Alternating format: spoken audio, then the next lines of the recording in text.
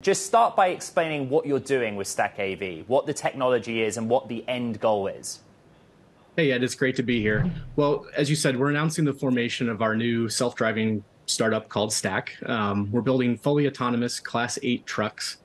And we're looking to solve really some of the biggest issues that the trucking industry faces, whether it be driver shortages, retention issues, um, over the road safety, and just the inefficiencies that we saw in the supply chain during the pandemic we really think self-driving trucks has a, uh, a, huge opportunity here to solve some of those issues. Bryan, you're coming out of stealth, and whether it's with more than a billion dollars or not, you, have kind of moved very quickly to grow. Where will you need to spend? Like, talk to me about the talent costs, the compute costs in, in your project. Well, our priority is to build a great company that can really scale and move fast and realize those benefits. Um, you know, there's the the number of people and the in the is is that's required to build this technology is enormous. Um, the the capital needs are obviously um, large, um, but our priority is to build that fantastic team and to really get the technology deployed as quickly as we can and, and get test vehicles up and running. Um, we are a new company, but we have been moving quickly and and just excited about the team that we built. Yeah, Bryan, you've always looked more holistically at autonomous technology. This is a very specific technology and use case. It's very similar to what Aurora is doing.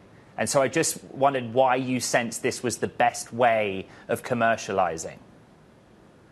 Well, you know, we, we think that the business model is really interesting. Uh, the the cost of goods have really to ship goods has really increased substantially. Um, we know a lot of small businesses are are feeling the pain. Um, uh, times to deliver are are increasing across the industry, especially in larger markets. Um, so we just think that autonomous trucking has the ability to address a lot of those inefficiencies. Um, and it just it isn't just in the autonomous part of it the self-driving aspect of it. It's also in the scheduling and the in the the overall logistics, the way the way the system works. There's just a lot of opportunity for improvement, and we think um, not just taking the benefits of AI, but also the benefits of generative AI and a lot of the latest advancements that we've seen over the last year, we think can really be applied to the entire logistics equation. So, Bryan, does that speed up things? Because ultimately, the Ford VW backing became impatient. I think it was quoted that one Ford executive said it was easier to put a man on the moon than it was to get autonomous driving really up and running. Did you just need a different mindset of length of time to commit capital here? Well, I, I think it's uh, this requires patient, long-term capital. It requires, um, uh, and it certainly requires uh, a big vision in order to to make this happen. But at the end of the day, we want to improve people's lives.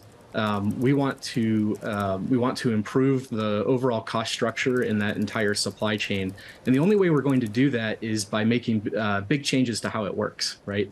And that means anytime you're working on sort of a world scale problem, that means that you have to really um, you have to really work in the details and you have to take a big vision and try to make it a reality. That takes capital, it takes time, and I think what you're seeing in the field in general um, is that you know different companies are sort of playing to their strengths and, and how they feel they can be most successful and, and adapt their business.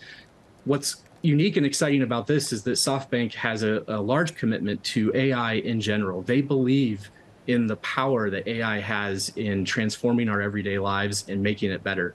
And that's where uh, stack av comes out of is um, doing that doing that and applying it to uh, uh, applying it to trucking. Yes Bryan, uh, SoftBank said they're not just backing you with capital, but also with AI competence as well. Could you just explain that? Is, is that your point of differentiation here, your access to, software and talent? Well, we have uh, access to the entire SoftBank uh, group, the entire team. They've been wonderful in giving us such a huge lift in getting the company started. They see a lot in terms of business models and what works and what doesn't we've seen a lot, our team, in terms of what works and doesn't, and to be able to see around the corners with the um, how to build the technology.